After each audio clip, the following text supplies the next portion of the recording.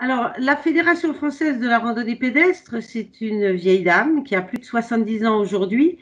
Donc, euh, ce qui veut dire que le réseau des itinéraires qu'elle a créé, les GR comme les PR, euh, ben, c'est une histoire euh, d'agrégation de projets qui se sont accumulés au cours des 70 dernières années.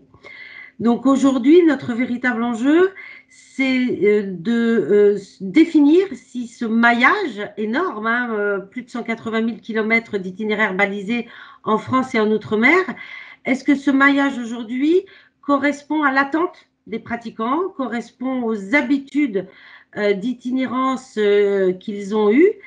Et aujourd'hui, ben, nous avons besoin de confronter cette construction à la réalité, à la, tout simplement à la réalité de la pratique euh, quels sont les itinéraires qui sont parcourus, les nôtres, ceux que les randonneurs se créent.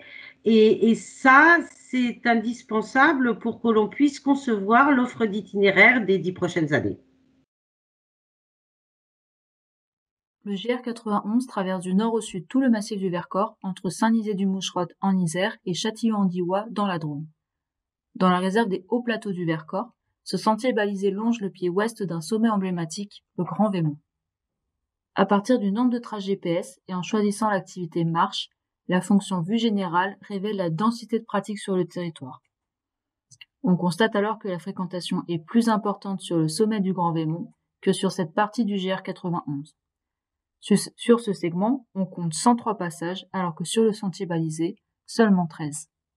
Dans une logique d'adapter l'offre d'itinéraires balisés à la pratique réelle, ces informations interrogent sur l'opportunité de créer une variante du GR91 permettant de gravir le Grand Vémont.